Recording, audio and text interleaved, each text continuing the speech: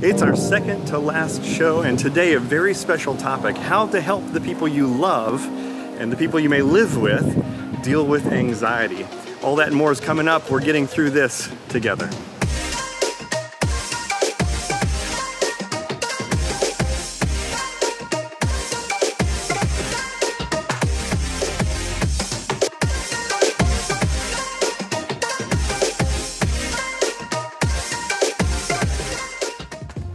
Right, welcome to the show, everybody. Let's get right to it.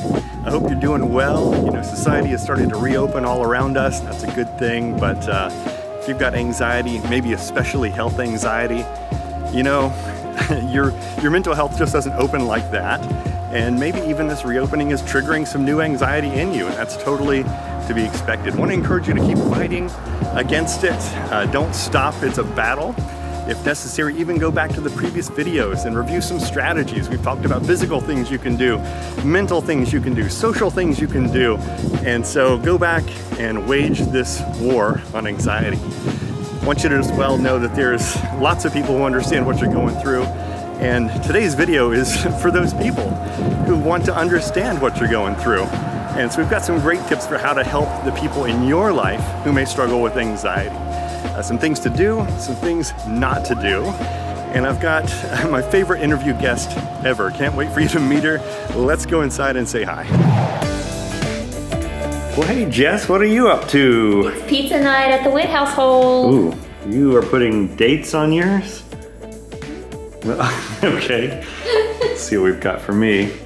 Five kinds of cheeses and counting. Let's get some gorgonzola on there.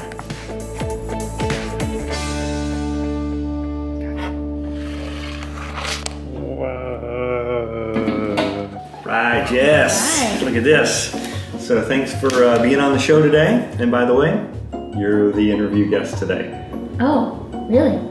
Yes. Okay. We're talking about uh, living with someone with anxiety. So uh, you're the expert. You live with me. Oh, but you live with me. Oh, we're both experts. This will be an interesting conversation. Anyway, uh, this meal, it's, it's no accident that we're actually eating this fun meal together. And I'm going to tell you why at the end of our interview. But uh, first, let's eat. Say, Shay, shall we? Yeah. All right. All right, Jess, awesome, awesome dinner. Ah, very significant dinner too. We're gonna tell you why, again, in just a little bit. But right now, you know what, you're our expert guest because our topic is living with somebody with anxiety. Uh, tell us, what's it like to live with someone with anxiety? Well, no, you don't have to. you don't have to answer if you don't. want to. okay. No, I mean, I've had anxiety too, so, I mean, what is it like? Oh. well, as many people know, it's uh, it's actually not that easy, right? I mean, uh, anytime you bring any two lives together, it's not uh, easy. But uh, the people in your life, um, the statistic out this week said one out of three people now in COVID time have significant symptoms of anxiety or depression. That means, statistically speaking, it's probably you, and if it's not you, it's probably your wife, and if it's not your wife, it's your child or uh, parent. Um, someone around you is struggling if it's not you, and it's really important to think about how to best help them. We will want to help them, but sometimes it almost seems like the things we do can be counterproductive, right? And it can be frustrating not knowing how to help people. So I just want to congratulate everybody on watching for taking step one without even knowing it. Step one is educate yourself. And if you know um, a little bit about anxiety and a little bit about depression, then you'll have this kind of um, picture of what someone may be going through. And you uh, can rewind a few episodes and hear my story and just kind of get an example of what it's like to be someone who suffers with these uh, issues. Yeah. So, how do you know if someone is anxious or depressed? Like, what are some of the signs? Great question. I think we all, um, you know, there's going to be a link in the video description below where you can take a uh, online questionnaire to see if you're anxious or depressed, and you can use those same questions to kind of evaluate others. But, but really, it's it's kind of simple if you ask me. Uh, we all know what it's like to be afraid. We all know what it's like to be a little anxious, uh, even though it probably doesn't impact our ability to go on living life significantly. We all know what it's like to be sad sometimes. Um, if you've never been sad, then something's probably wrong with you, you know? Uh, the, so we all exist on a continuum. Something I learned while studying this in, in college and grad school, like mental illness is not a light switch, it's more like a dimmer. And we all exist on that continuum somewhere. Um, there's a certain point on that dimmer where the symptoms rise to a level that it impacts your ability to live well. It impacts your ability to go to work every day. It impacts your ability to have a good marriage. It impacts your ability to enjoy your hobbies and your life. And when it significantly impacts your ability to live, that's when uh, is a red flag that you may need professional help. And that's the red flag that you should be looking for in other people's lives.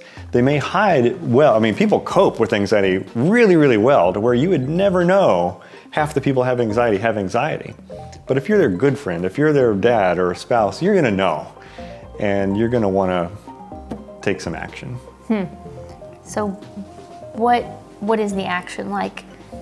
Do you go to them directly, or you know, I, I feel like people with anxiety or depression can feel shame or just mm, you know may not be ready to talk about stuff. So how can you help them? Yeah, well, I think the very first thing you got to do is evaluate if there's a crisis.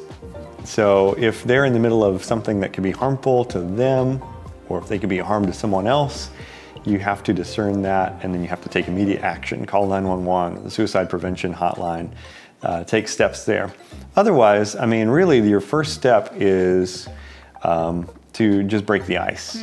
And so, you might say something as simple as this. Let me give you some words to try. I noticed you've been acting differently lately and wonder how you're doing. Or, I want to check in and see how you are. You've seemed pretty down. So these simple icebreakers can kind of, uh, you know, just open a discussion. And let me tell you, as someone who has had anxiety and uh, different shades of depression, um, we we don't mind being asked. In fact, we appreciate that people care, and especially if someone has earned that right to be like you have to earn your way into this. You can't just go up to a stranger and say, "Hey, you look depressed."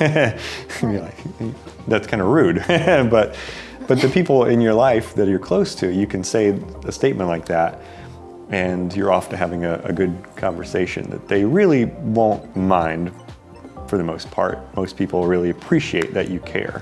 Hmm, that's good. So you want to keep that conversation going by asking some good questions. And I think, you know, everybody's different. So even though you've done step one and you've learned a little bit about anxiety and depression in general, you don't want to just throw that on the person and just assume, like, I know what your problem is and I know what you're thinking and I know your, how to help you out of it. You want to uh, be a student of that person's experience and you want to allow them the privilege of sharing it with you and um, you want to ask good questions to help find and brainstorm together you know how you can be of help in your relationship with them Yeah, it sounds like when you ask the questions, you're you're kind of telling us to that we have to be good listeners to what they're telling us. yeah listening is the most important thing. So if you don't remember anything else from this video today just remember that the best thing you can do to help somebody who's struggling is just to listen well. And um, a big part of that is letting them know that you're listening well because you could listen well but come across as if you're disinterested so you want to intentionally repeat back some of the things they've said so it sounds like you are feeling down because of the situation at work or man it seems to me like uh, you have been feeling this way for quite a while um, anyway, it, in doing so, it, it verifies for them that you are actually understanding them, and it gives them the opportunity to correct if you've misunderstood. So, reflective listening, man, it's a really important skill. Make sure people know they're uh, being heard really well. And maybe the other half of good listening is avoiding its opposite, which is talking. So there's a t- there might be a temptation to talk too much, and anytime you're talking, you can't listen. And especially the kind of talking we want to avoid is fixing. So it's really, really tempting to come in and say things like, oh, yeah, I know exactly what you're feeling. I felt scared yesterday and I took this supplement and I'm better now. And it's very dismissive and it's, it's a one size fits all thing that may not work for them. Um, so fixing is bad, uh, a, a, bad idea. You're not a therapist, so don't act like one. Hmm. Yeah, so since we're not a therapist, Look at her repeating my. She's doing active listening. This is great. Um, how do we, you know, help the person reach out to a therapist if that's what they need or Yeah. Yeah, well, it's really important, like you say, to just remember you're you're not a therapist, and even if you are, maybe there's a the odd person watching this. We do have some therapists who watch this. You're a therapist. Still, don't do therapy with your loved ones because it's a dual relationship. So, even I have degrees in this, but I'm not going to do counseling on Jess because it's just not. You, you can't do it. Gosh, how do I say that right? You, you just can't do therapy on your loved ones but especially if you're not qualified. So if you're not qualified, you're going to end up, um, you know, trying to expose someone to what they're afraid of. That is a real thing you do in therapy. But if you do it the wrong way, it can actually set them back.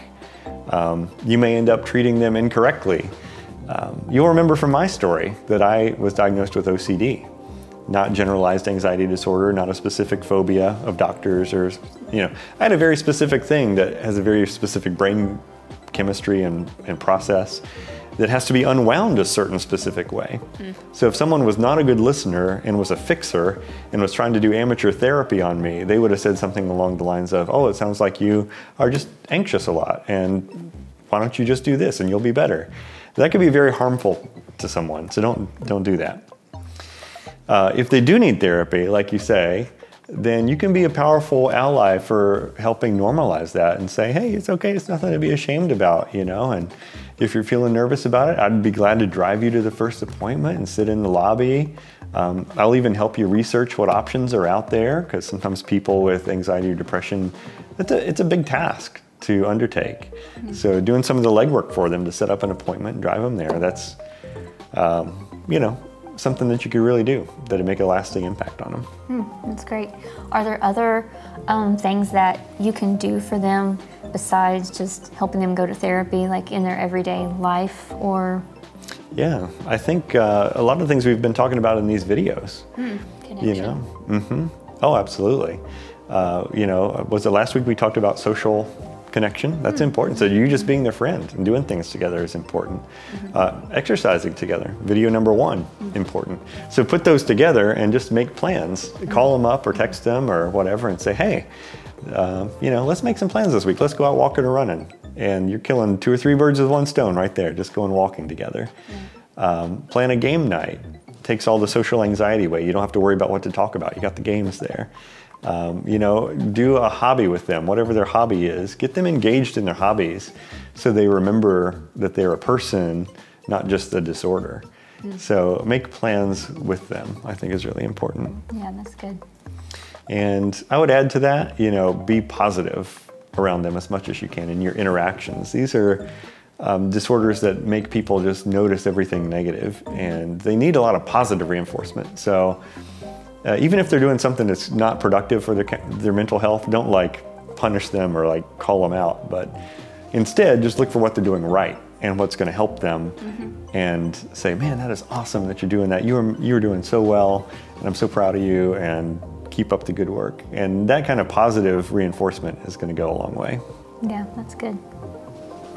And speaking about positive, you know, I think um, just love, you know, uh, acceptance is really important too.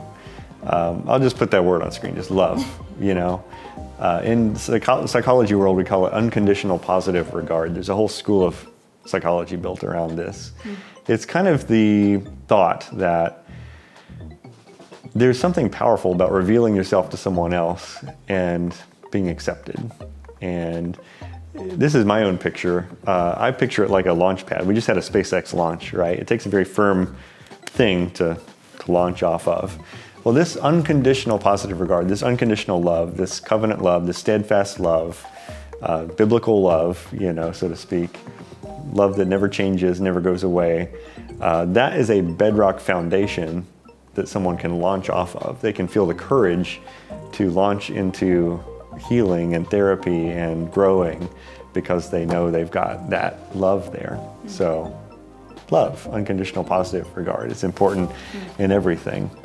Um, let's talk about one more thing, and that is spirituality. That's going to be next week's video, by the way. But, uh, you know, spirituality is part of life. And if you're trying to help someone through depression, it's important to take care of that part of their life as well. So, invite them to church, share how you pray, uh, pray for them if, if they're open to that. Uh, share scripture with them if they're open to that, always respectfully, but yeah. um, sharing what's important to you. Yeah. So, I mean, it seems like a lot of this requires like personal relationship and just engagement and, like you're saying, a listening with love and, um, yeah. Yeah, um, it's it could be a lot of work. It's difficult. yeah. It's difficult. It requires patience. Mm.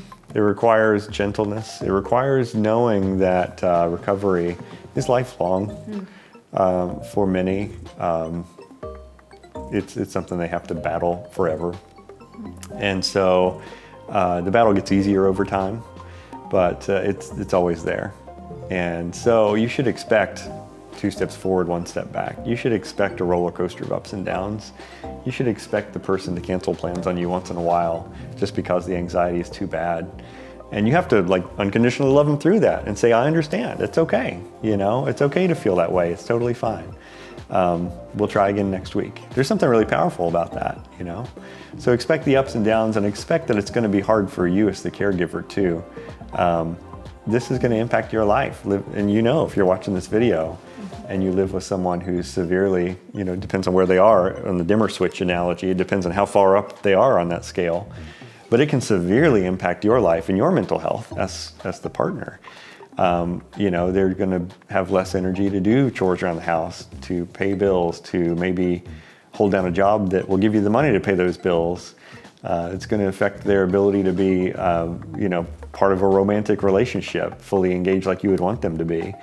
And so there's a temptation to take some of this personally or to take offense to it.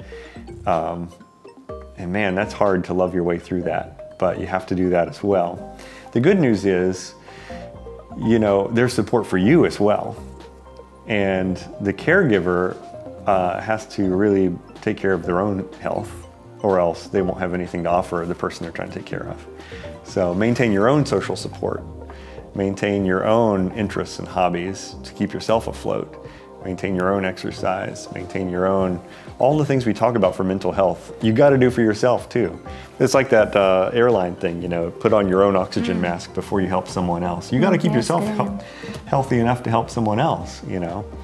And, um, and, and sometimes that involves even reaching out for therapy yourself.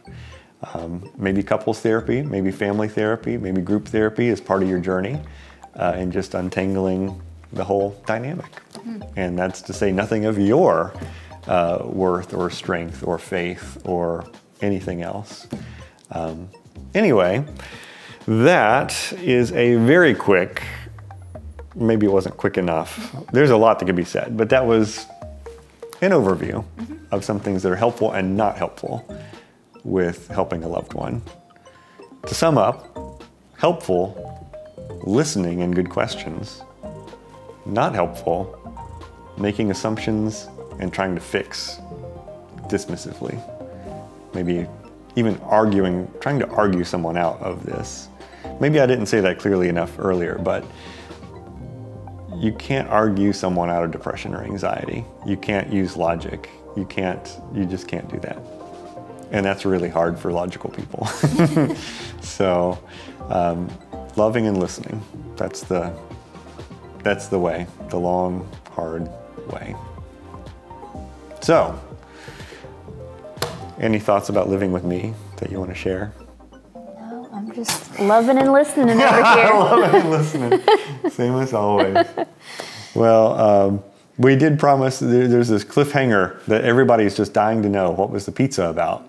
So, like I say, there's nothing random in these shows. Nothing. Every detail planned for you, the viewer. and Yeah, except my words. There might Yes. be random.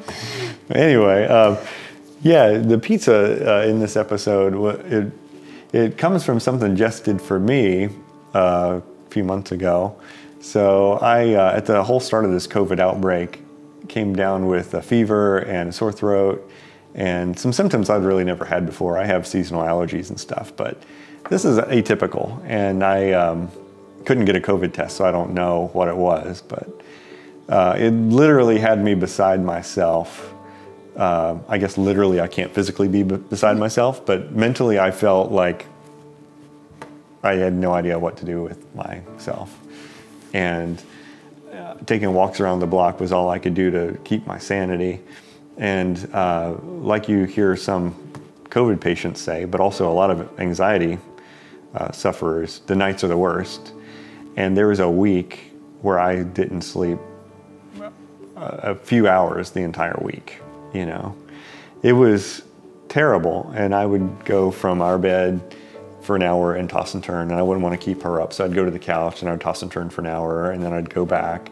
And I'd switch places eight times a night and just wait for the sun to come up.